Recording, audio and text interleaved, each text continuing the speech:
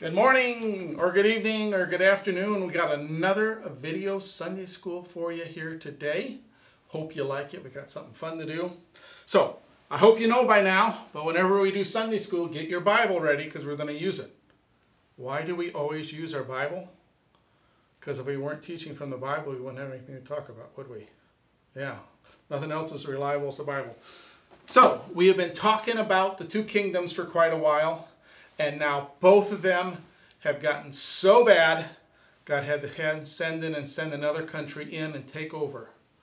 So Assyria, the great big army of Assyria, came in and took over the northern part of Israel, the part they actually called Israel, invaded their cities, captured some of their people, took them back to other places, and they got people from the other countries they took over and brought them in.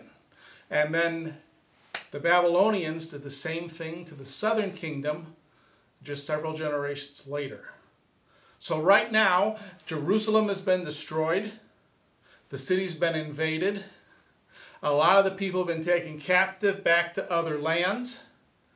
And people from other countries have been moved in. And all the good stuff that was value, like all the treasures that were in the temple, all the good stuff that was in the king's house and the prince's houses, that's all been taken away. And some of the people have been taken away too to live in different places. And we've been talking about some of those people. Do you remember who we talked about last week was one of those people? Yeah, it was Daniel. He was just a boy at the time he got taken. Maybe 12, 16, eh, maybe as old as 20. Okay, a young guy. And he got taken away from his mother and his father and from his hometown, everything he knew. And where'd they take him? A long way away, back to Babylon, the capital city of the Babylonian Empire. And he went to school there to learn to be a great Babylonian leader. That was the king's plan. Get people from the other countries, teach them to be leaders, and let them lead the different places, and that way kind of keep his whole empire together. All right? So we're going to start in that story again today. Last time we talked about the first chapter of the book of Daniel. So I got the handy dandy Bible chart. All right? We've already talked about all the books Moses wrote. And we've talked about the stuff that happened in the book of Judges, Joshua and Judges and Ruth. And we talked about the stuff that happened in the Samuels, the Kings, and the Chronicles. All right? And these stories are actually in the major prophet section, and it's the book of Daniel. So hopefully if you got your Bible, we got to go to Daniel chapter 3. Now there's a real interesting story in chapter 2 I wish we had time to teach. But we got to skip that, and we're going to go to two other stories today, all right? And we're going to see that God is still showing his glory, even though he had to punish that old country of his that he set up. He's still showing his glory. We're going to see that in two different ways today. The first way I am calling the difficult situation. All right? So you're in chapter 3 there, let's see how the situation started. Now, if you remember, Daniel had three friends that were Hebrew boys, came in there the same time he went to to go to that leader school that they were at for three years. Their names was Hananiah, Mishael, and Azariah. All right? But the Babylons didn't like those names. Remember why? Because they all talked about their God. Remember? Daniel says, name means God is my judge. Hananiah's name means God is gracious. Mishael's name means who is like God. And Azariah means God has helped. Babylonians didn't like that. So they had to give them new names. Daniel got called Belteshazzar. We might actually see that if we read the right verses today, which means Bel, protect the king, and Bel is the name of one of those false gods. Hananiah got named to Shadrach, which means inspired of Aku.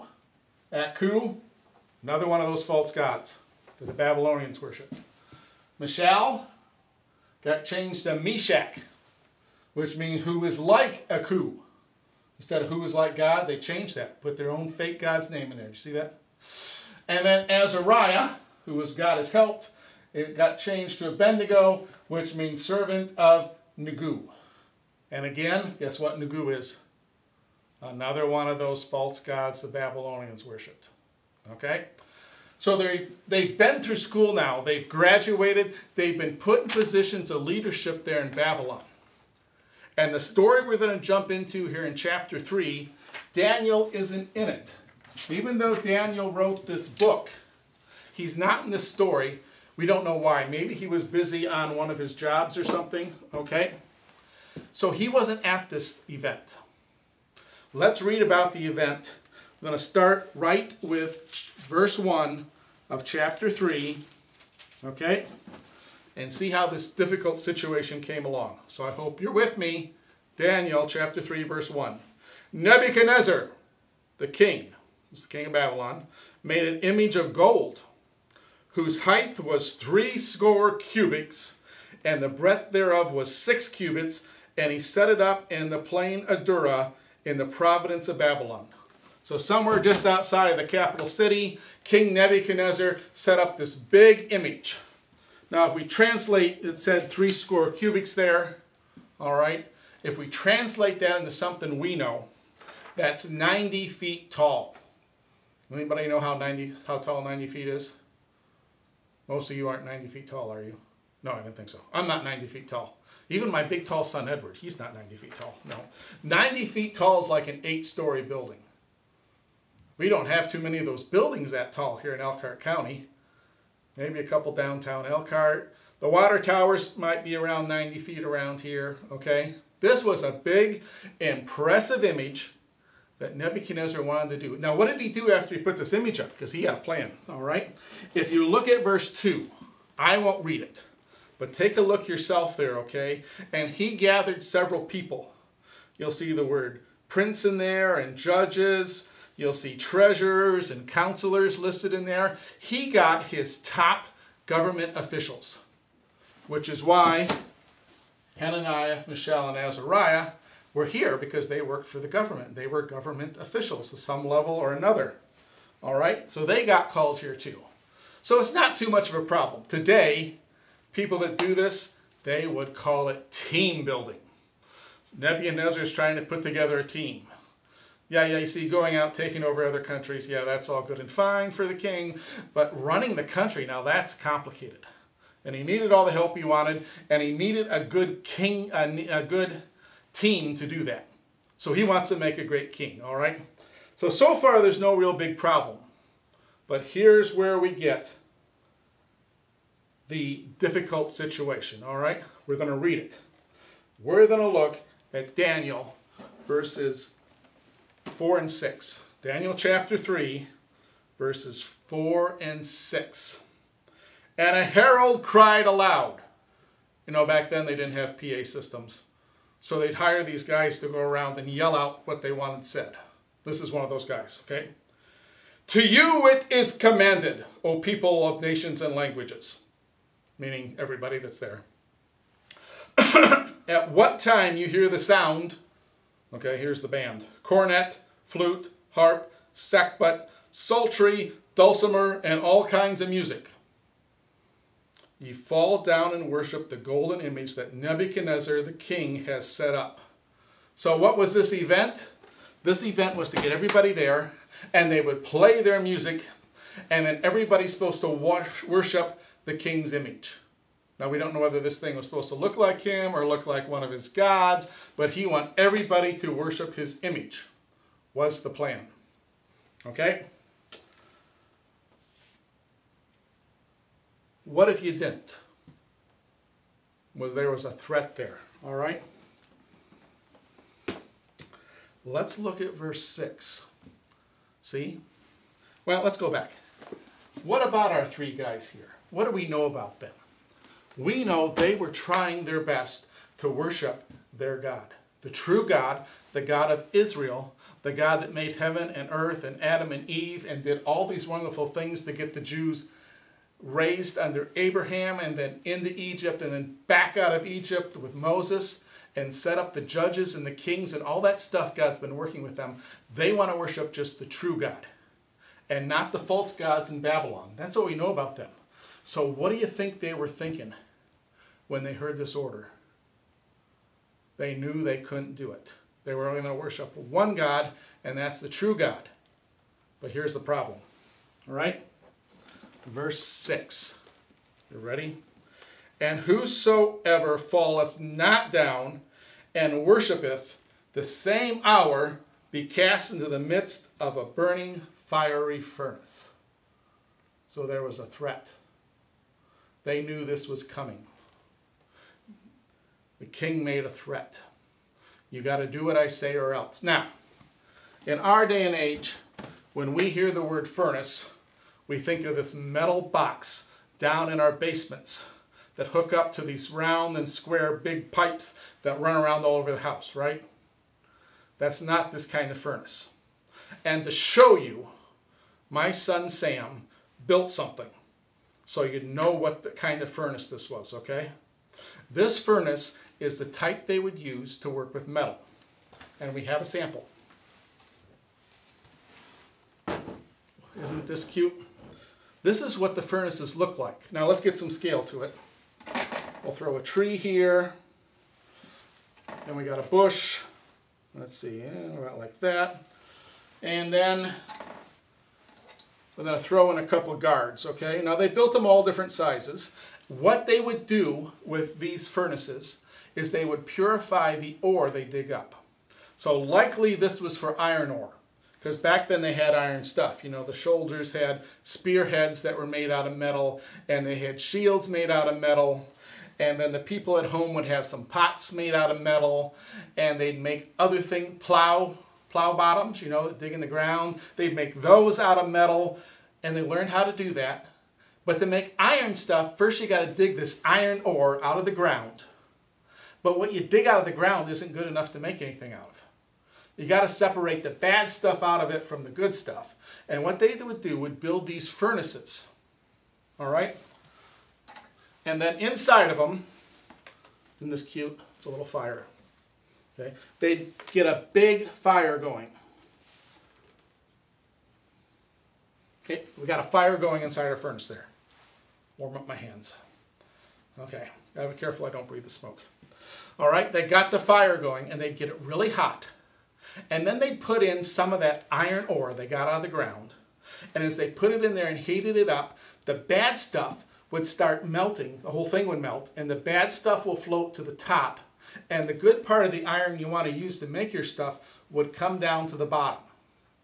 And when they got it melted and got it separated like that, they'd poke a hole down in here in the door and they in the sand out here they dig some troughs and then they'd have some big sections that those troughs would drain into and the iron ore would drain out fill up those spots and then cool and harden and then they had stuff the blacksmith can use to make all their metal stuff.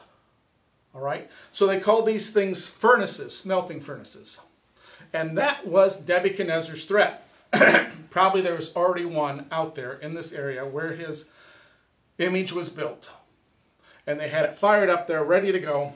And the threat was, if you don't worship my image, we're going to throw you in here. Okay? So the fire goes in here, and the metal goes in there, and the smoke comes out. So what are these guys going to do? Hananiah, Mishael, and Azariah. They can't worship the image because they know that's against the rules. What rule is it against? Hmm? Remember? There's 10 of them. Yeah, the 10 commandments God gave Moses up there. Rule number two of those commandments is not to make an idol and worship it. Here was an idol that somebody wanted them to worship. They're saying we can't do that. So, first of all, they just tried to ignore it. They played the music at the place and um, everybody else bows down and worships the idol. It becomes an idol then when they worship it. But Shadrach, you know, we also know Shadrach, Meshach, and Abednego, they didn't do that. Maybe they tried to find a discreet place to do it. I don't know. But some of the other guys there, some of the other people that were called to this big team building thing came along and they talked to the king. And they said, Oh, king, didn't you make this command that if you don't worship my idol, we're going to throw you in the furnace? And the king said, Yes, I did. And they said, Well, Shadrach, Meshach, and Abednego, see, they called them by their Babylonian names there, they didn't do it. These Jews, these Hebrews we brought out, see, they're not obeying you, king. They don't like you. And they're not doing it. But the king knew these guys. And he didn't want to hurt them, so he calls them in in front of him. Aha, we got this right here, okay? Move this little guard over here, the guard over here, and here is King Nebuchadnezzar on his throne. We don't know if he had a throne that day or not, but we'll pretend he did. There he is on his throne, okay? And then here we have Shadrach, Meshach, and the Abednego. There's the guards hurting them up. All right. they get called in front of the king. And the king says, Hey, guys, I heard you didn't bow down in front of my idol. Now, I don't know what happened. Maybe you didn't hear it. Something's going on. But I'll tell you what, we'll do it again. We'll have them play their instruments. And if you guys fall down and worship my idol, no problem. We'll just forget the whole thing. More or less, that's what he said. Okay? What do you think these guys are thinking about now? Fiery furnace, king that's kind of being good to him at the moment, and an idol. This was their, what did I call it? Their difficult situation. You ever been in a difficult situation? I've been a couple in my life where it's really easy not to do what you want God to do, what you know God wants you to do. And that's the position these three guys here were in. If we just bow down and worship the idol, everything will be okay. So, what do you think they did? They had a second chance. Well, they didn't take it. Um, they said, King, you could read it.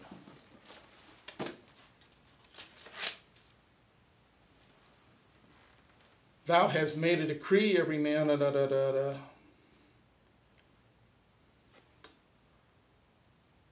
Okay, verse 16. Daniel 3:16. Shadrach, Meshach, Abednego answered and said, O King Nebuchadnezzar. See, they're still being polite. They're still giving as much honor to the king as they should. We are not careful to answer thee in this matter. If it be so, our God who is able to serve, is able to deliver us from the burning fiery furnace. And he will deliver us out of thy hand, O king. But if not, because remember, they don't know the end of the story like we do. They really didn't know what was going to happen here. But if not, be it known to thee, O king, we will not serve thy gods, nor worship the golden image thou hast set up. So they didn't know what was going to happen to them. All right? They didn't know how God was going to solve this. And they still decided to obey God, even though they were in this difficult situation. And one of the censures is if we back up to verse 15. All right? Beep, beep, beep, beep. Verse 15, look at the last phrase. Okay? If you start at the very last comma in verse 15, when the king was talking to him, he said, And who is that God that shall deliver you out of my hands? As if to say, I am more powerful than your God. Look at all my soldiers. Look at my great idol. Look at my fiery furnace. If you guys think you can stand up against me, we'll show you wrong. We'll show you who's really in charge here. No God is going to be able to save you from me. But yet the guys turned that down. They politely declined the second chance. How do you think that went over with the king? Not very good, huh? Matter of fact, Let's look at verse 19 now. Then Nebuchadnezzar was full of fury, and his form and vintage was changed. So now he's hopping mad. All right, he's a hopping mad king. His whole attitude towards these three guys that he was trying to get off the hook changes. He's not putting up with this, he thinks. All right, against Shadrach, Meshach, and Abednego. Therefore he spake and commanded that they heat the fiery furnace seven times more than it was wont to be heated. Seven times. I did a little research. Okay? What temperature do you think iron ore melts at? How hot do you have to be before this metal melts into a liquid? And you can separate the bad stuff from the good stuff. All right? One of the things I looked up was said 2,282 degrees Fahrenheit. All right? A warm summer day is like 70 degrees Fahrenheit. If it gets up to 100 degrees, which it does sometimes, that's quite hot. It's almost unbearable for most of us to live with. All right? We will catch on fire well before 1,000 degrees. But the melting temperature at being 2,282 degrees this says he ordered it seven times hotter. So do the math. I got a calculator there. You push 2, 2, 8, 2 times 7. And you'll get something very close to 16,000 degrees. Now, I don't know if they could actually do that. Maybe the king gave that order and they did all they could and they couldn't get anywhere close. But anyways, it was quite hot. All right? So he got it ordered. It is steaming hot. I imagine the stones were even red. And they took the guys and they tied them up. Did you see this right here? We got cute little handcuffs out in there to show that they're tied up. Because they tied them up in their hats and their stockings and everything else. So here's our guards. All right. These, he's tied up too. And he's tied up. Okay. And then to get up to the top, you need a ladder. Bum, bum, bum. The ladder over here. We'll take our guard here. He'll carry one guy up. ah! All right. Next guy. and then the last guy. Now, that's not the way it happened though because the guys that carried him up there, the thing was so hot that the guards that followed the orders to throw them in died of the heat. That's you know, just how hot, just being up there on the top. I wonder if the ladder caught on fire. All right, so these guys are dead. We got Shadrach, Meshach, and Abednego in the furnace. It should have been like poof, and they were gone. But that's not what happened. Because you see here, the king, oops, he lost his helmet. There we go. Put his throne back. The king wanted to see what was going on, so he's standing out here as close as he can get because of the heat. He's probably covering his face so his face doesn't get like a sunburn from the intense heat. And he's looking inside the bottom door. It's a door where you put the fire in and the iron ore. Okay, he's looking in there and he sees something. Let's read about it in verses 24 and 25. Okay, chapter 3, verses 24 and 25. Then Nebuchadnezzar was astonished, and he rose up in haste and spake unto his counselors. Oh, sorry, I don't have any counselors left. Did we not cast three men into the midst of the fire? And they answered unto the king. They said, True, O king. And he answered and said, Lo, I see four men, walking around in the midst of the fire. Okay, the 16,000 degree fire. You know, do you walk around in a fire? No, you jump out of it quick. They were just walking around in there. They have no hurt. And the form of the fourth is like the Son of God. So what's going on here? The ropes they tied him up with, they burnt off. But the guys aren't hurt. Can you imagine being inside of a flame and not being hurt? And there was somebody else there. We have a picture of it here. All right, there's the king looking inside this furnace. There's our three guys, whether you want to call them Hananiah, Mishael, and Azariah, or Shadrach, Meshach, and Abednego. And then there's a fourth guy. And who did Nebuchadnezzar say it looked like? He said it looked like the Son of God. Who is the Son of God? Well, here in us, our age, we call him Jesus. That's the name he had when he came to earth. This was before Jesus became Jesus.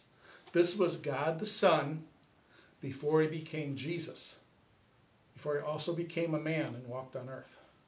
And he was in there helping these guys out. Because of him being in there, they weren't being hurt inside the fire. So the king calls them out. Unfortunately, I don't have a way to get my little Lego minifigures out of the oven, so you'll just have to work with me, okay? The king calls them out and talks to them. He's now scared to death because these guys we know are already superstitious. And he's come to the conclusion this is a God you don't want to mess with.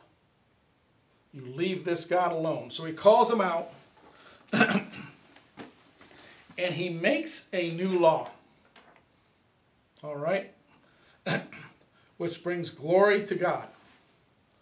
We're going to read 28 and 29, right? Daniel chapter 3, verses 28 and 29. Then Nebuchadnezzar spoke and said, Blessed be the God of Shadrach, Meshach, and Abednego, who sent an angel and delivered his servants that trusted him, and have changed the king's word. See that? God didn't care what the king said. God's going to do what he's going to do. And they yielded their bodies that they might not worship any God except their own God. and in verse 29, we see he makes a decree that you can't say anything against these guys' God. You can't say anything against the real God because Nebuchadnezzar didn't want to mess with this guy. Not this God. The other gods, Aku, Nagu, that's a different story. But This God, better leave him alone. and that's how God got glory in this situation. We're going to look at another one, which is just the next chapter, chapter 4. this chapter is kind of strange in the book of Daniel. All right? Daniel has been writing this book, and he writes it in the third person, which means he doesn't use the pronouns I or me or myself. He just calls himself in there like he's talking about another person. but this chapter is actually written by King Nebuchadnezzar himself. He wrote this letter and sent it out over his kingdom, and Daniel took it and copied it and wrote it in here. He might have changed it from Arabic to Hebrew. We'll see. I'm not up on that. All right. So this is a story Nebuchadnezzar's telling because he learned to listen. So I am calling this part the Great Lesson. All right. And talk starts off Nebuchadnezzar has a disturbing dream. Now we could read about it, but I'm just going to draw it. All right? he dreams about a tree. All right, let's see here.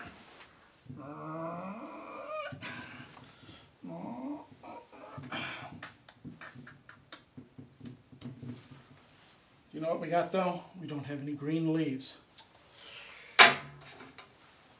Ever seen black leaves on a tree? I don't know. All right. Here is our great tree. All right. and it was a giant tree. It reached up to heaven. It covered the whole earth. And then birds came along and they were nesting in it. There's a birdie.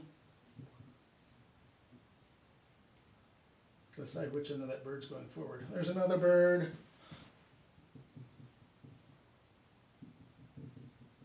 Here's a bird. Nests. Oh, they gotta have a nest. Okay. So the birds were living in the branches, and the animals were down here. Let's see here. Think that's a deer? I don't know. How about a bunny rabbit?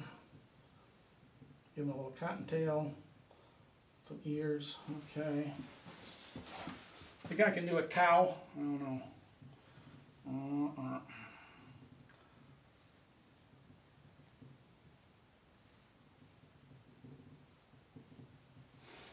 What do you think? Cow? I don't know.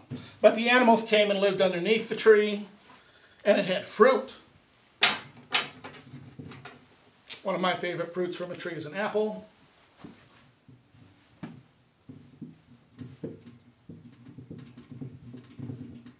All right. So in his dream, King Nebuchadnezzar saw this great tree. Then guess what? Someone starts talking to him. He calls him a seer from God. Some sort of an angel. In his dream, gives a command. And the command that's given is chop down the tree.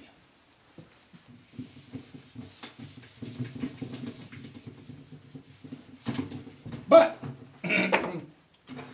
leave the stump.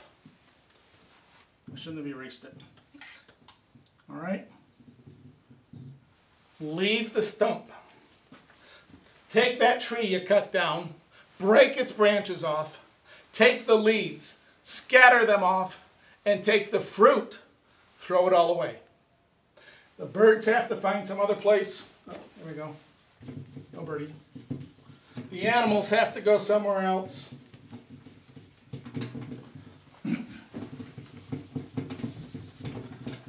And then around this tree stump, put a fence. It says put a, an iron band on it. We think that might mean a fence.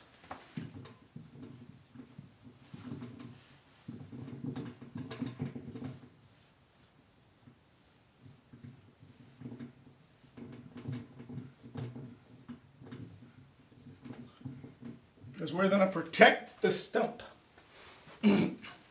All right? Then it gets personal. We're going to read that section.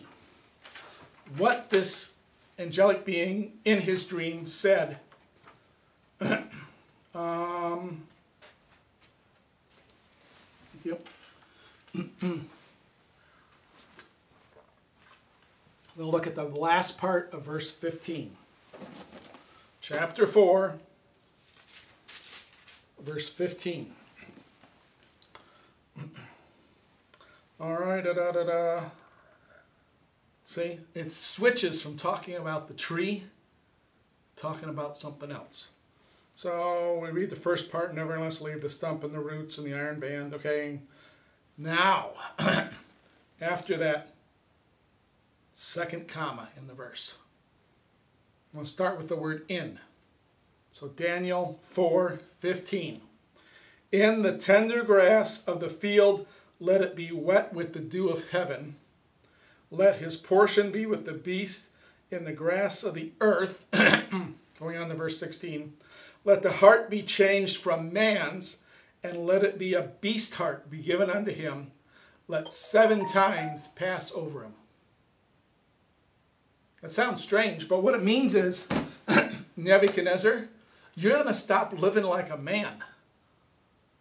I mean, you won't be king. You won't even be a man anymore. We're going to change you into a beast. And you're going to live seven years as a beast in the field. You're not going to talk. You're not going to read anything. You're not going to change your clothes. Your hair is going to grow wild. Your fingernails are going to grow off like claws, and you're going to live a life of an animal until you finally realize who God is and what He means.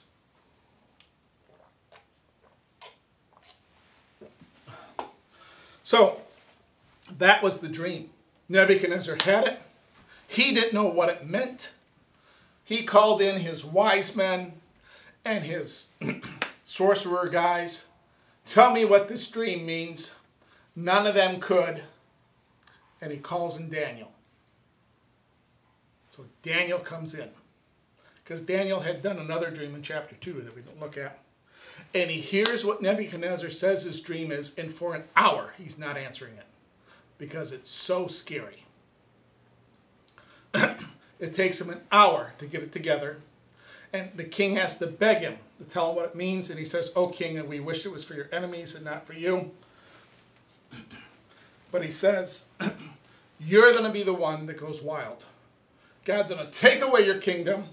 You're going to be acting like an animal for seven years until you realize who God is, that He's the mighty one. And then he begs the king, Daniel does, to repent, turn away from what he's doing. And the king doesn't listen. A year later, he's walking in his capital city, Babylon, which is probably quite an impressive city. And um, he looks around. He says, Wow, look at this city. Wow, wow, wow, wow. I built this myself because I'm such a powerful king. This city is good enough for me. And I'm the mighty king. And that's what had happened. he started acting like an animal, living out in the wild. we see him here, his fingernails start growing out like claws, his hair grows wild, he's eating grass like cows do. All right? And he did that for seven years. And then one day he looks up to heaven and says, Aha. God gave him his senses back. God is the true God. He is the one that's in charge. I'm just a man. I might be a king, I'm still just a man. And God's the all powerful one. And then he got it back, he got back his intelligence. He started living like a king again. His people came back to him that used to call on him, his advisors and he takes over the kingdom again. and then he wrote this chapter here in Daniel. Let's look at how he summed this up. All right? Daniel chapter 4, verse 37.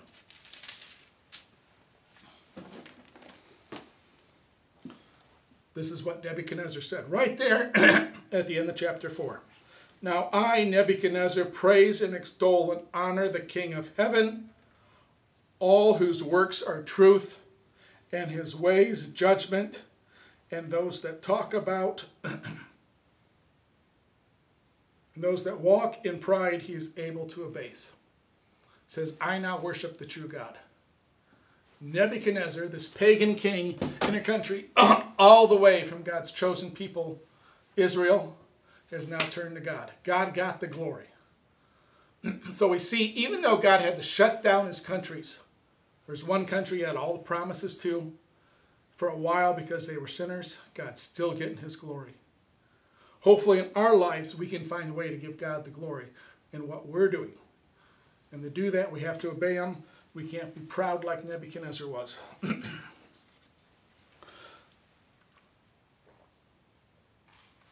and our next lesson, we're going to see his family didn't follow, though. And we'll see some difficulty of that. But for today, let's pray. We'll see you again next time. If you see me in one of the services, be sure to come up and say, Hi, Mr. Guyman. And I'll say hi to you because we miss not being able to be together. All right? Let's pray. Heavenly Father, we thank you for today. we thank you what we can learn here and what Daniel was taught while he was serving you. And pray that we'd find ways to honor and glorify you too with our lives in the things that come up and in the situations we're in. In thy name, amen.